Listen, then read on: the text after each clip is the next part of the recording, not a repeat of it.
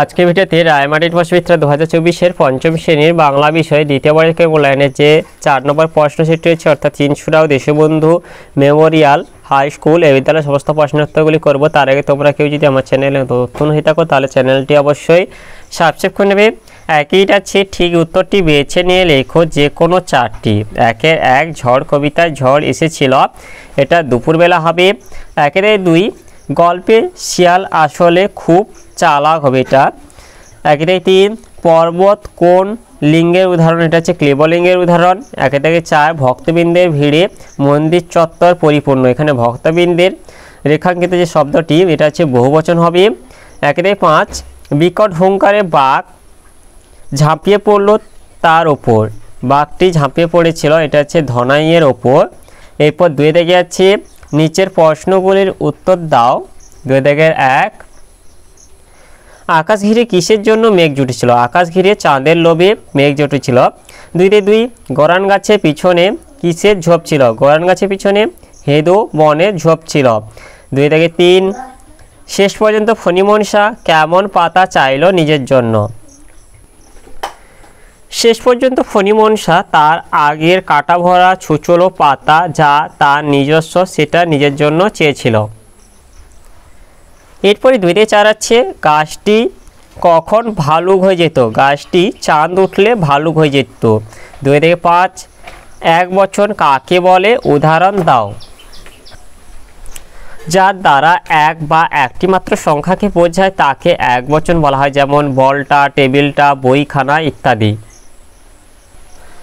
এরপরে দুই রে ছয় আছে, লিঙ্গ পরিবর্তন করো প্রকাশিকা এটা হবে লিঙ্গ পরিবর্তন করলে হবে প্রকাশক। দুই রে সাত, গুলো যোগে একটি শব্দ গঠন করো, যেমন হচ্ছে পাতাগুলো। এরপরে তিনে রেগে আছে, নিচে যে কোনো দুটি প্রশ্নের উত্তর দাও তিনে জায়গায় এক আছে, ভগবানের প্রাসাদে পৌঁছে ব্যাং কি দেখল? ভগবানের প্রাসাদে পৌঁছে ব্যাং দেখল যে দেবতারা নানান ভোজ ও আনন্দ উৎসবে ব্যস্ত হয়ে আছে। দেবতাদের স্ত্রী ও মন্ত্রীরা মহানন্দে দিন কাটাচ্ছে।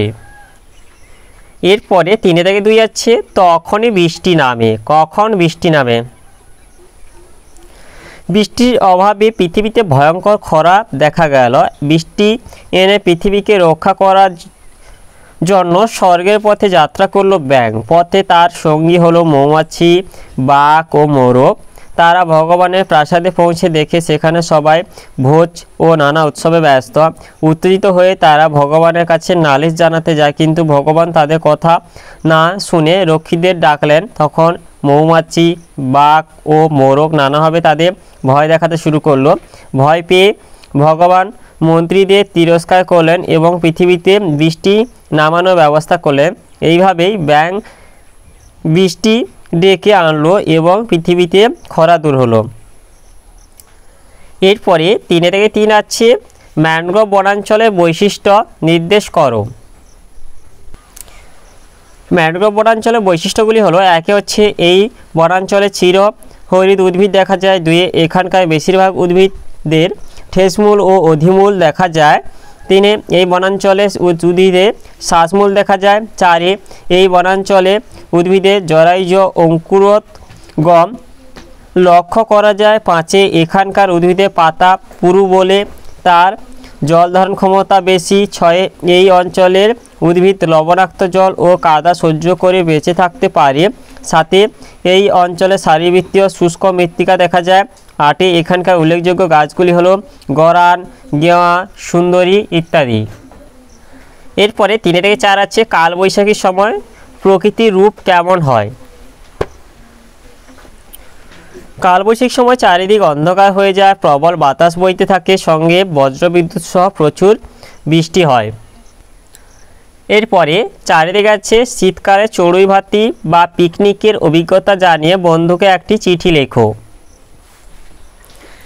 এইটা এটা আমাদের এখানটায়। এখানটা হচ্ছে তোমাদের এইভাবে নিজের ঠিকানা দিয়ে দিবে, তারপর এখানটা লিখবে, প্রিয় সিদ্ধার্থ অনেক দিন তোর কোনো খবর পাই না। আশা করি তুই ও কাকু কাকিমা ভালো আছিস।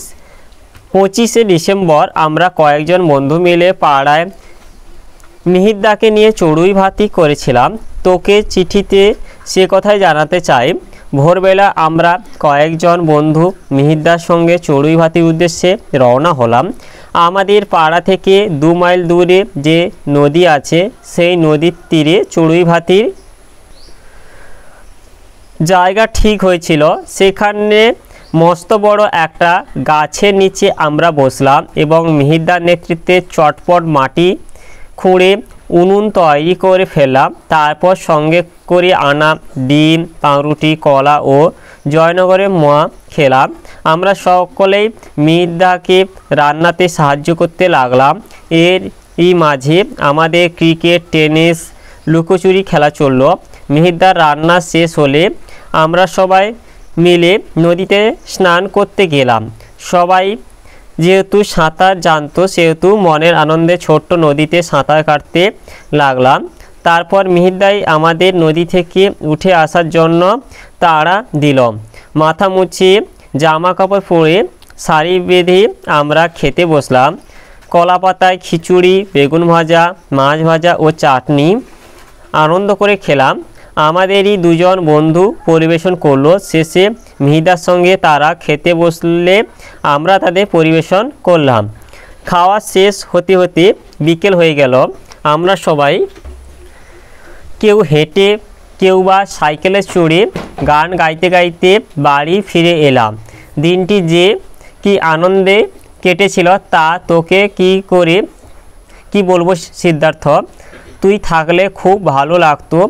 আমার ভালোবাসা নিস এবং কাকু কাকিমাকে আমার প্রণাম জানাস। ইতি তোর বন্ধু শুভায়ন এভাবে তোমাদের তোমার নিজের নামটা লিখে দেবে এবং তোমার এখানটায় যে বন্ধুর ঠিকানাটা এখানটায় দিয়ে দেবে। তাহলে আজকে ভিডিওতে আমরা পঞ্চম শ্রেণি বাংলা বিষয়ের যে চারের দাগে চীন সুরাহ দেশবন্ধু মেমোরিয়াল হাই স্কুল এই বিদ্যালয়ের সমস্ত প্রশ্নের উত্তরগুলি শেষ করলাম। আর তোমরা কেউ যদি আমার চ্যানেলটা এখনও সাবস্ক্রাইব করে রাখনি, তাহলে চ্যানেলটা অবশ্যই সাবস্ক্রাইব করে নেবে। ভিডিওটি ভালো লাগলে ভিডিওটিকে লাইক কমেন্ট ও শেয়ার করতে ভুলবে না